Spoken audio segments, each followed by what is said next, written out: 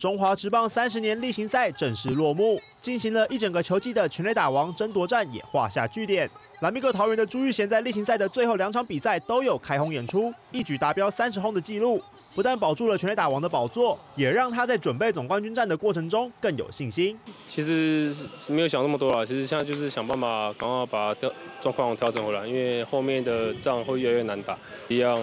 全力去做，然后把自己的状况赶快调整回来，然后帮助队球队这样子。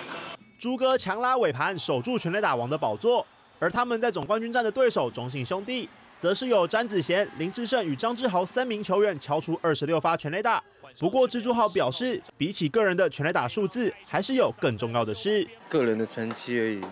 有没有帮助到这个球队才是重点了。对啊，如果我打了二十五次全垒打，打了四十次全垒打，我球队抽一名，我想那个人应该也开心不起来。我做好我自己的工作，我才会有这样的成绩，然后。